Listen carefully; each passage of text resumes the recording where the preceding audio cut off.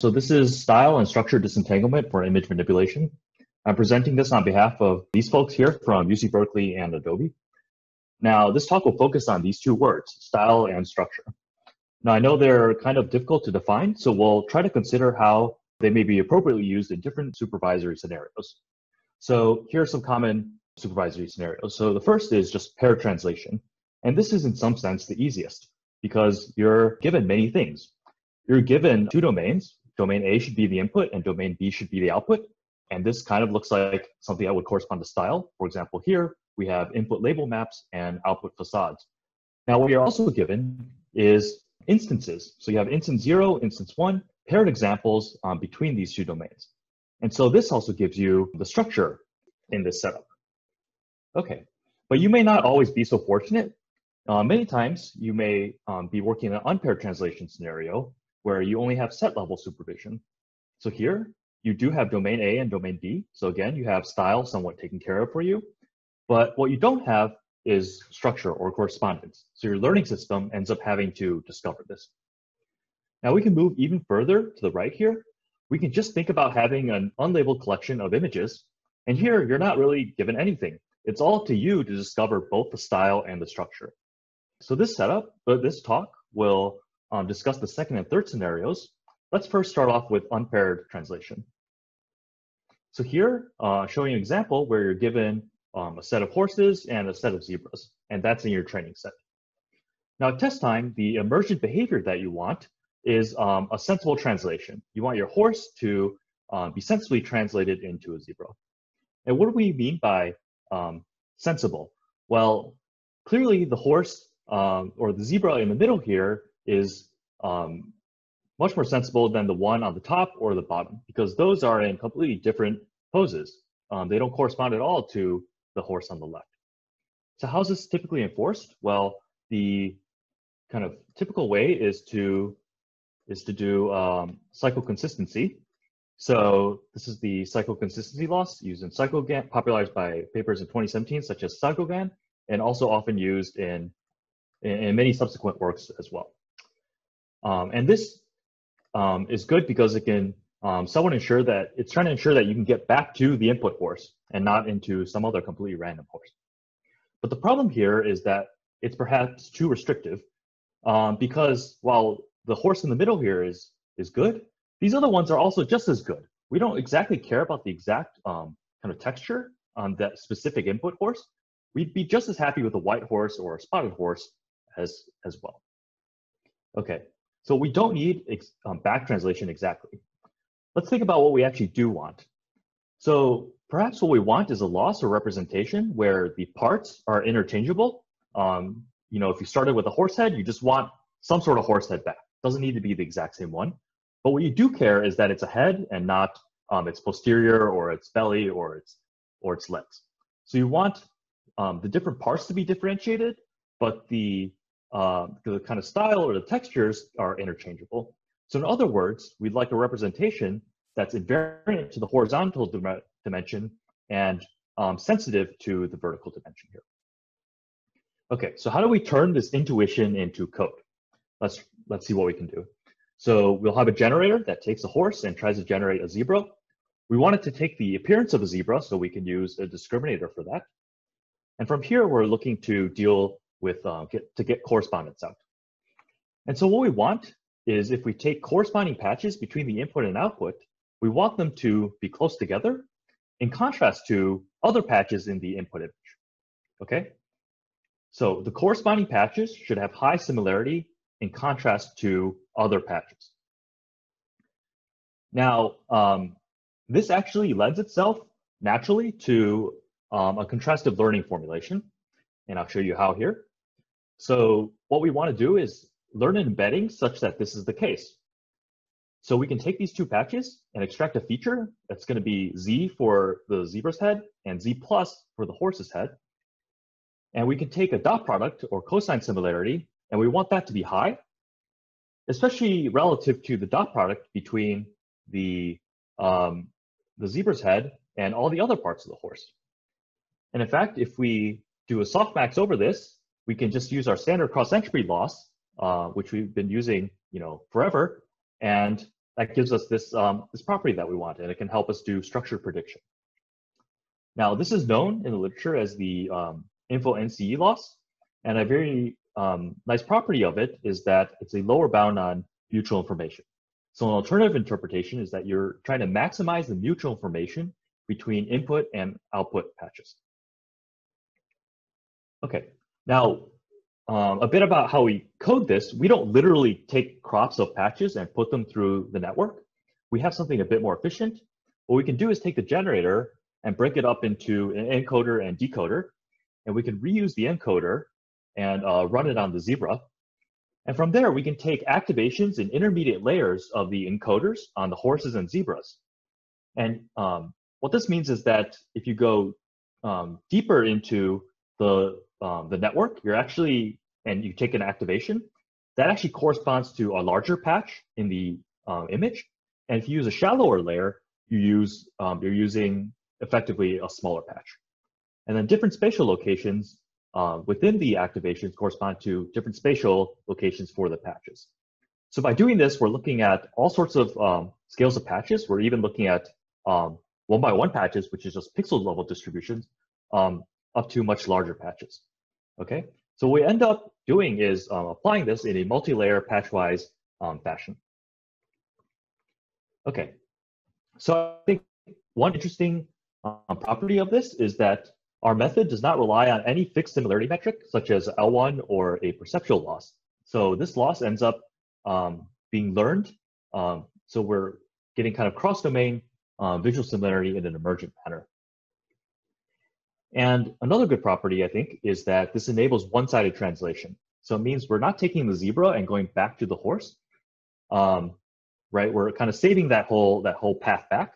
And that ends up giving us a lighter memory footprint and faster runtime so that uh, we can actually train much faster. Okay, so there's one more um, additional term here. So what we've proposed so far is a contrastive loss between the input horse and the output zebra. There's another trick called the identity regularization trick, uh, where you can take an output or take a, a, ground truth zebra and put in the generator um, and, and, and put the same loss on the input and output here. And this is to encourage the generator um, from, or rather discourage it from making unnecessary changes. If you already have a zebra in, you don't need to really change many pixels. You should um, be a little more conservative. Now our full system has both these losses, um, both for the horse as well as the identity loss regularization, and we call it contrastive unpaired translation, or CUT for short. And what we found qualitatively is that it's a bit more flexible than CycleGAN, and it's also faster to train due to its one-sided nature. Now, we can make it even faster um, by removing the identity loss regularization term. In this case, we're going to turn up the contrastive loss by a um, larger factor, and this causes the system to be more conservative, um, and it's actually even faster than cut. So I can show you the training time here. The uh, y-axis is training time, so lower is better. On the left, we see CycleGAN, which is shown in yellow. On the right, we see cut and fast cut. And they're 60% and 160% faster than CycleGAN. So fast cut is more than 2x faster than CycleGAN to train. Um, here's some other image trans unpaired image translation methods. The two-sided methods, which require cycle consistency, take um, either the same or more time than cycle CycleGAN. And the one-sided methods um, take much less time, and our fast cut model ends up being equal to those in terms of runtime. Okay, let's look at some results. So here's a comparison between cut, which is our method, and CycleGAN, um, which is a baseline.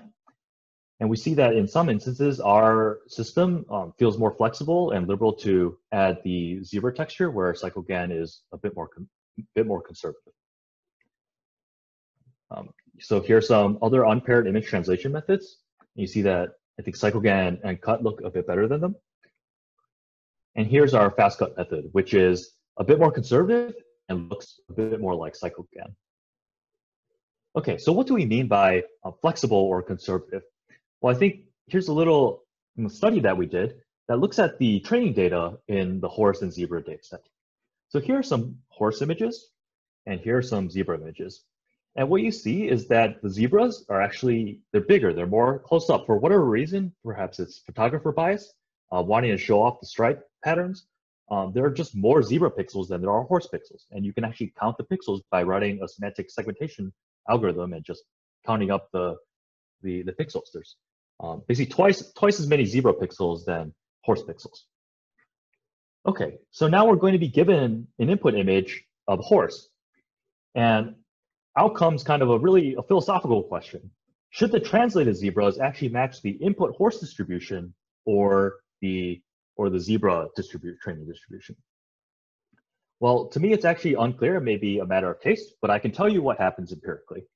So CycleGAN ends up being more conservative, and you can see that it tries to match the input horse distribution, whereas cut gives a bit more spatial slack um, and allows the discriminator to be a little happier and it better matches the, the zebra distribution. For example, you can see on this example up top, this zebra looks like it had a nice, um, a really nice lunch. So its, its belly is looking nice and full. Okay, and fast cut you can see is something kind of in between that's a little bit more uh, conservative. Okay, so we can also run the system on other um, translation problems such as cat to dog, summer to winter, etc. And so just like CycleGAN um, has served as you know a really powerful system that you could just pull from GitHub and run on, um, I would encourage you to to try Cut um, as a baseline as well because it can um, do these tasks and it, it runs faster. Okay, so we kind of motivated this talk by saying that this system should be good for um, discovering correspondence. Now, we'd actually like to try to measure that. And to do that, we can use the semantic segmentation score um, to evaluate the correspondence. So you can start with um, this label map. We can run the um, image-to-image translation model, for example, cut or CycleGAN, to get um, a, uh, an image. And we can put it through a pre-trained semantic segmentation model and check how much the input and the output agree. And we can measure this with mean IOU. Okay, so here higher is better.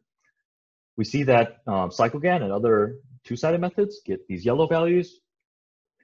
Here are the one-sided methods, which are designed to be faster, um, but um, many seem to not be as good as discovering correspondence, except GCGAN, which performs very strongly. Um, and here's cut and fast. So you see that cut is able to um, discover kind of stronger correspondences than CycleGAN or GCGAN. Okay. Now, um, in developing this project, there were a few um, kind of key elements that we found. And one kind of surprising one, I think, is this matter of how you sample the negatives. So the drawing I've given you so far is, is like this. The corresponding patches should be positives and pulled together and the negatives are drawn from other patches within this um, exact, this specific input image. Okay, so these are kind of internally drawn patches from um, internal to this input image. But there's really nothing keeping us from drawing external patches either. Um, after all, intuitively, we, we don't want um, this zebra head to be close to any random patch, um, any random horse patch in the train set. But somewhat surprisingly, we found actually this ends up hurting performance. And so our hypothesis is that if you take another horse, another random part of a horse, um, it's maybe not that helpful. It's not any more helpful than the uh, random parts of the horse from the spe specific training image. And you might run into uh, false negatives. For example, you might grab another horse's head, um, and that might cause some problems in learning. Um, so here's just an example of um, results for internal versus external patches. Here's a result with internal patches. Here's with external, and you see very clear mode collapse when we're doing when we're using external patches. Okay, and this uh, got us thinking a bit more. And so um, one thing to note is that internal patch statistics are um, extremely powerful, and they've been used in um, to great effect in the past, you know, few decades. So there's this kind of very seminal work from Efros and Leung and Efros and Freeman about generating uh, textures um, simply by using internal internal patches. And kind of more modern work is ZSSR and SinGAN, which got um, best paper in ICCV, which is learning to do super resolution or learning um, all sorts of image manipulation tasks simply by training on a single image.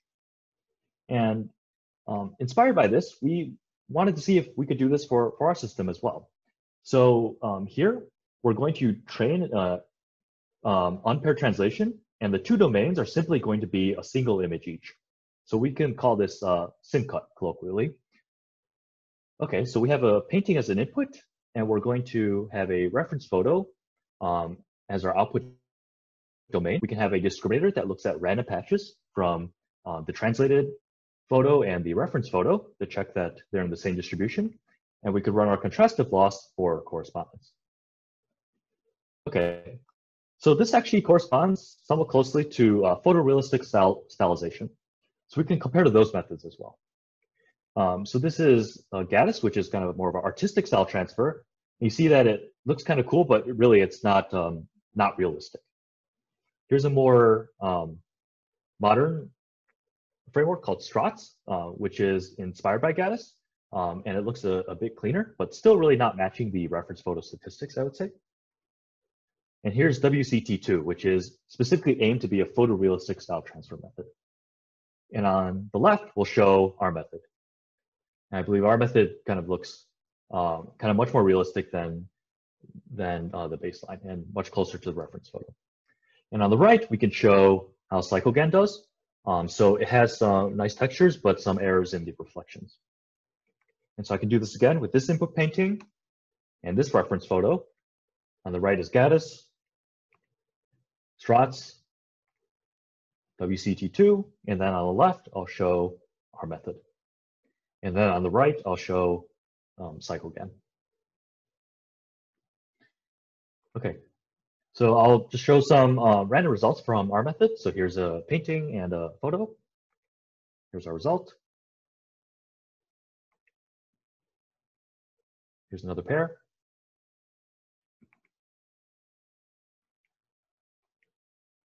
And another. And one more.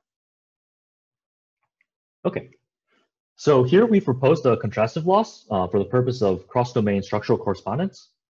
It doesn't rely on any predefined distance metrics such as perceptual loss or L1, and it enables one-sided translation in the unpaired translation case. Um, so you can try our, our code and, and models here. But there are some drawbacks. So we're still relying on domain labels for style, and we can only do one predefined task. So for those single image translation um, tasks, those results I think are pretty cool, but it literally takes half an hour to, or an hour to train and you can only do that, that one image. Okay, so we'd like to try to relax some of these constraints and move towards um, purely unsupervised training where you're not given um, even domain labels, you're just given an image collection. Okay, so what are some desired properties that we want if we are to learn on these, um, these images? Uh, well, I think we would like to have, uh, for kind of graphics purposes, a representation that's amenable to certain downstream manipulations. Um, and some examples are maybe we want to edit the structure of the image. We'd like to change the global style or feel of the image. Um, we like to perform image interpolations or similarly uh, vector arithmetic. But uh, really the most important property that we need is that the image needs to be recoverable from the code. Because if um, you get a code and you don't get your image back, you're not editing your image, you're editing some, some other image. Okay, now notice that um, one thing we don't really care about is uh, random sampling. Like that's not something that we actually need to do for editing a specific image. Um, so uh, while GANs kind of have cool emergent properties like smooth latent spaces, um, they're trained with random sampling. That's not a property that we need. What we need is that the image needs to be first and foremost recoverable. And so we're going to train with that in mind first. So we're going to code an image, decode it, and we want it back. Okay, and uh, we also want the output to look realistic. Now, from here, we'd like this code to be useful for downstream manipulations. So we're going to hypothesize that if we are able to disentangle it into um, something that corresponds to structure and something that corresponds to style, we'll be able to do so. Um, so this is a hypothesis and design decision we're making that'll hopefully be validated later in the talk. Okay, now how do we actually enforce that um, something corresponds to style? Well, one thing we can do is um, swapping. So we can uh, encode a different image, in this case, um, St. Basil's Cathedral, we can attach its style code to the structure code of Notre Dame and decode it and hopefully get something like this. Okay, and we want that to look realistic, so we'll put a discriminator there. Okay, so the idea here is that we're using swapping as a pretext task, and that should hopefully induce a representation that's um, useful later. Now, how do we actually enforce um, enforce this? So number one, we have to define what we mean by style. And uh, number two, we have to kind of figure out how to actually um, enforce this. And for that, we are inspired by older work by, by Julesz. And Julesz is really the kind of like the father of texture. And so back in the 60s, he was thinking about, from an analytical standpoint, what makes two textures similar? And his hypothesis was that if you had some sort of true infinite texture and you grab two patches from it, if you could find the right statistics for them, then those statistics would describe um, how humans actually perceive uh, the fact that these two kind of patches uh, appear to be the same.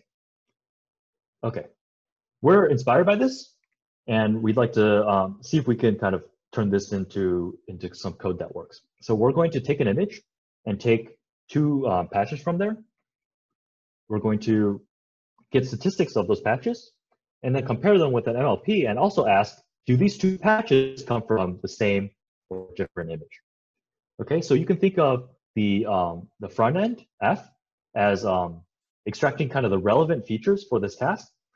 And the MLP in the backend is doing something that's kind of second order. It's looking at co-occurrences over these features um, and trying to figure out whether or not they belong in, in the same image.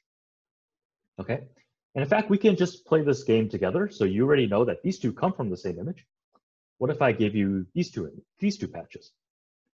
Okay, um, okay, I guess we don't have a live audience, but hopefully you're guessing that they come from different images, and indeed they do. How about these two patches? Okay. Um, they come from the same image. How about these two? They come from different images. How about these two? Okay, well, I actually hopefully tricked you in this case. They actually come from different images, even though if you look at these, they look uh, quite similar. Okay, and so um, this is actually an output of our system. We took the structure image shown on the top right here and mixed it uh, with the style image on the left to get this result.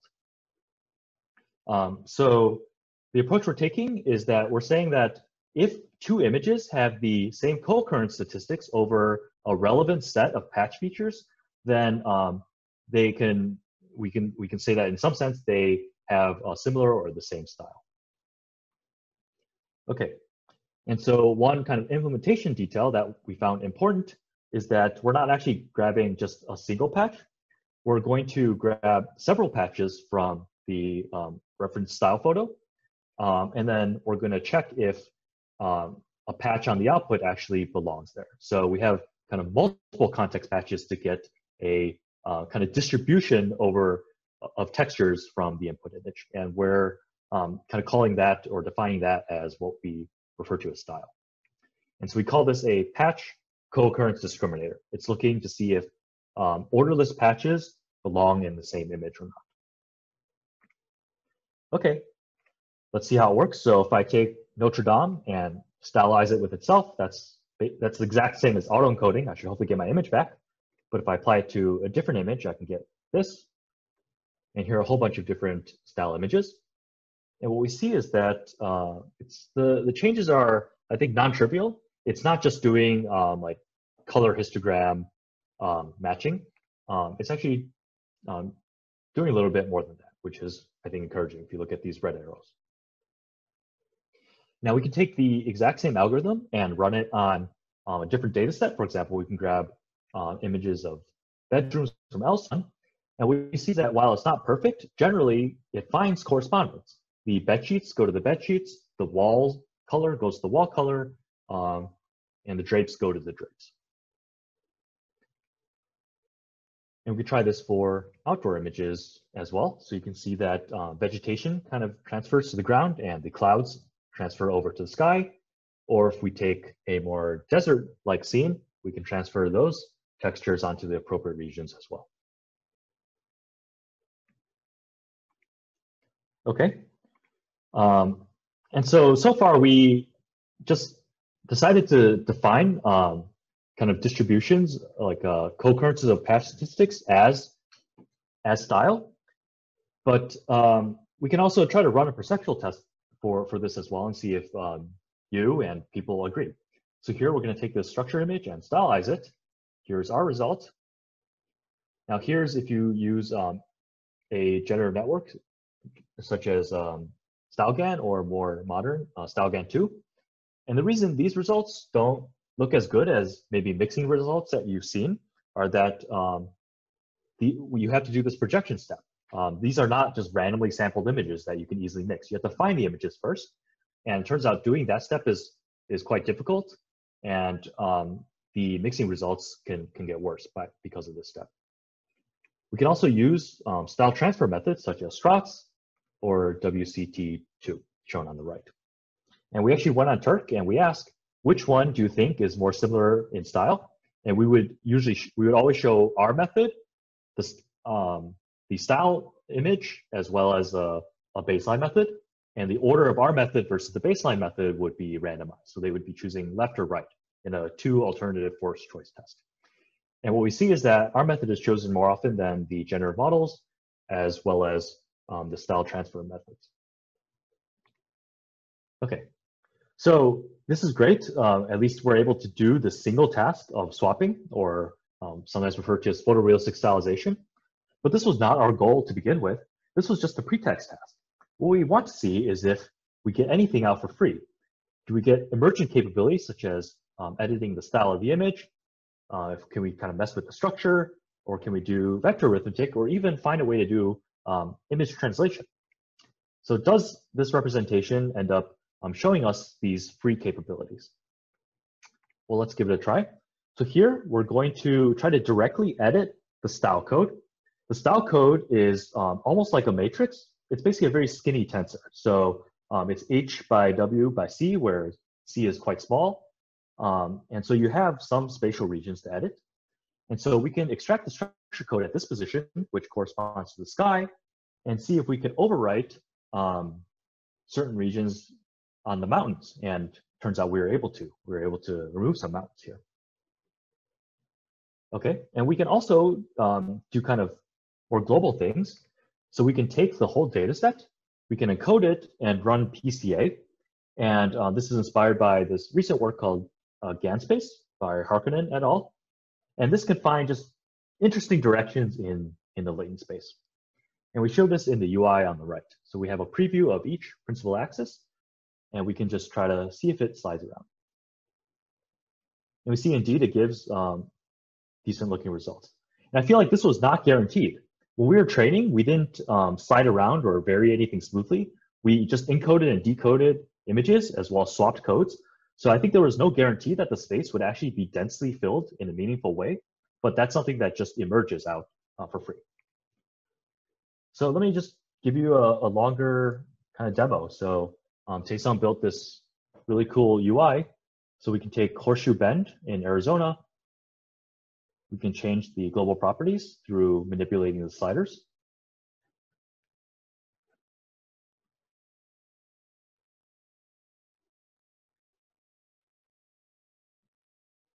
Okay, we can add some snow. You can see the mountains are actually kind of growing in the back, which is interesting.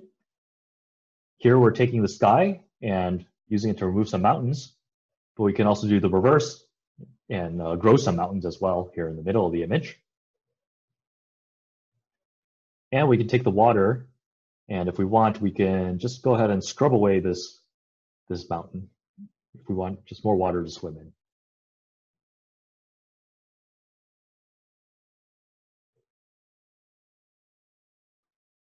Okay, and so this is fun to play with.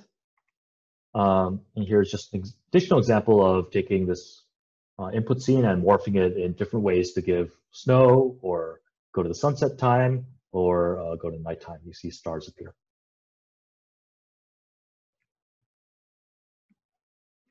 Uh, we can also train on different data sets, such as uh, here's some faces of animals. And here are results of, um, so here are two input images, and here's I think Taesung just kind of walked around um, and explored the the latent space using the UI, uh, finding kind of different points that he liked. And you see that um, all these animals kind of have the same pose, and we're able to kind of change the species on them and explore the space in a fun way. And so this is done kind of free form in the UI without labels. Now, an interesting thing is that if you do have labels, you can actually apply them um, after the uh, sort of on the fly. And what I mean here is, for example, you may have uh, images of um, portraits of people as well as um, paintings of people, and you can just throw them all into one training set and use our method to, um, to train. So you can train without any labels. And then after the fact, you can use the labels to find a direction that goes from um, paintings to real images. Okay, so you can define your tasks after you do the training. If you do unsupervised training, and then later you can sprinkle a little bit of labels on top and see what you get. And so um, here I'm morphing to um, something that looks more realistic. Okay, so I'll just morph between them.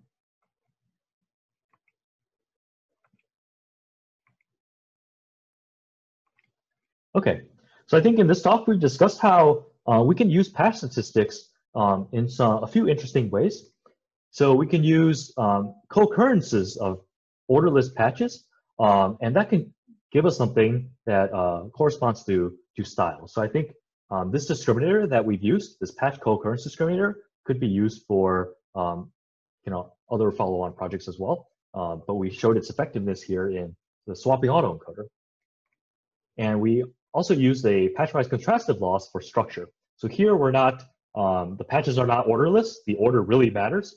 In fact, um, we're specifically relying on corresponding and non-corresponding patches, putting the corresponding ones together away from the non-corresponding ones.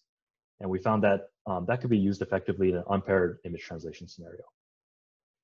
Okay, here are links to the projects as well as my collaborators. Um, I especially like to point out Taesung Park, who is the uh, first author of of both these projects.